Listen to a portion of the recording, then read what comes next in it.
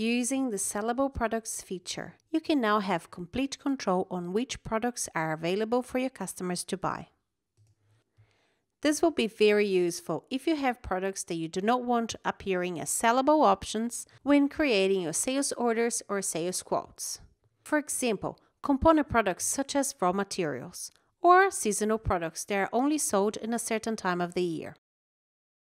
To get your products set up accordingly, click on Inventory, Products and View Products.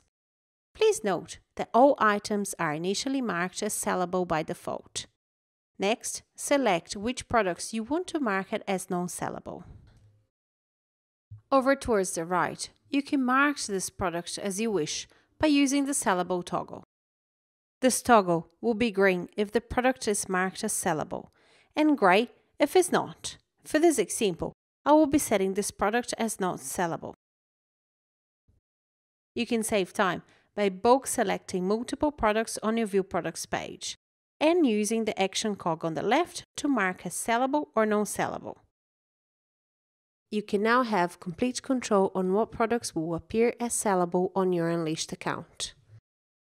To filter your products accordingly, use the Sellable drop-down menu.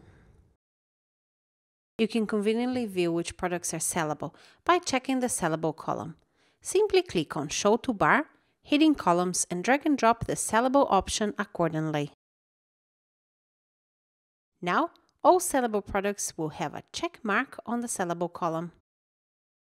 To make your life easier, you can save this as a template.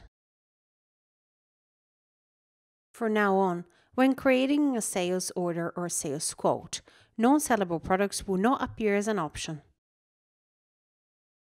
And if you have salespeople on the road using the Unleashed Sales app, don't forget to click Sync. Thanks for watching.